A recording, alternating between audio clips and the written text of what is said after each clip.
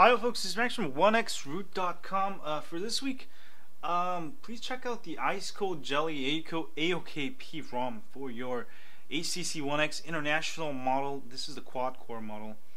Uh, as you can see here, let me show off my lock screen here. This is the AOKP weather widget and my calendar widget going off there. Um, so showing me everything. And also this is my targets, uh, different, you can add up to eight different targets. Um, kind of one of the main things cool about AOKP ROMs. This is kind of a um, slightly different build than the ones I've been posting. Pretty solid build, everything working fine out of the box. And then let me actually change the brightness here. And you can see here, um, there's actually this is actually running Android uh, 4.1.2. The one just came out, so um, you do get the latest Android 4.1.2 uh, AOKP ROM here. And uh, let's make the brightness a little bit brighter. Um, I've got it auto oops. I've got some custom stuff here. There we go that's way better. Um, also in display you'll find automatic backlight uh, more tweaks you can do. I'm still messing with it.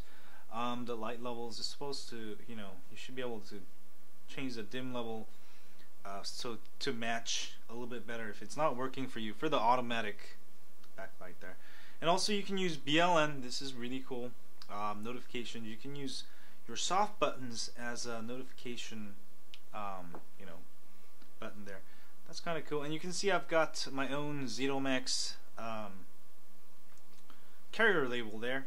So that's kind of an additional AO. It's not really an AOKP feature. It's just kind of, you know, addition to the AOKP this ROM brings you. Um, so I kind of really like that and uh, let's see ROM control you'll get the standard stuff general UI that there's the custom carry label you can set. Um, kill all button is great you know so you can kill all of your apps. Uh, I find it handy. Hold back to kill. Um, also you can force tablet UI you can change the LCD density. Um, you'll have to reboot I'm not to show you that but you can you can mess with that so you can you know fit more stuff into your screen and uh, let's see lock screen. Um, you can set the number of targets here. Set up to eight lock screen targets. You can change the different lock screen there. Uh, that's really cool. I've got the weather widget enabled. Uh, calendar calendar sources. I've got it pulling from my Gmail here which is really nice. Uh, lock screen rotation. This is really nice so you can unlock it um, both ways. Oops. But a pretty solid ROM. I mean I just I don't know. I, I just tired of Sense now. I'm just running AOKP based ROMs. Um, I don't know. It's just kind of a one week I feel like you know I need Sense.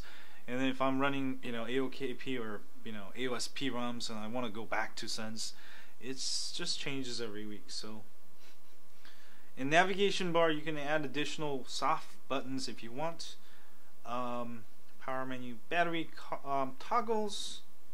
Alright, toggles. What is what else is big? Sound. You can mess with a bunch of these stuff. A2DP, all that great stuff. Weather, you do have to set um, this to on for the lock screen weather to work. So make sure you set a custom location. I've got it set to San Francisco, California. And also there's additional options if you want to start custom apps, um, like, you know, let's say I hold down the you know the weather widget there and it'll open up my some of my widgets you know. Oh actually no let's just try it. Let's actually try to open up some app here. Uh, oh, I wish there was you can get a torch torch um, and then kind of open it up. That's kind of cool Let's see if that works. I have to do this. I'm not sure um, mess with that. You'll get it. You'll find out how to do it. Alright. I just want to kind of quickly go over some of the stuff.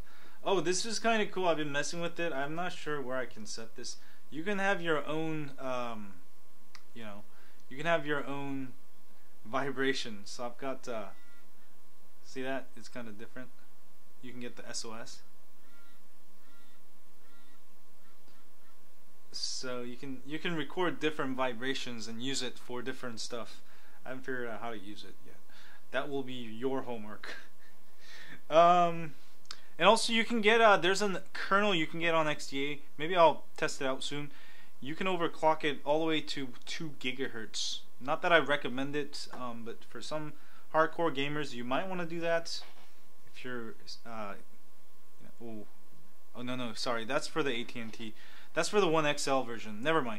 But you can um, uh, you can set it to 1.5 or I actually recommend underclocking unless you're a hardcore gamer because this ROM is really fast and uh, you'll get much better battery life if you set uh, it actually comes default at uh, 1.2 gigahertz quad core.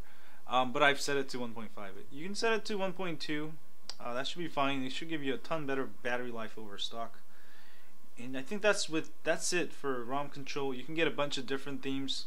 Obviously, we can try out this theme I have here. Let's go jelly blue.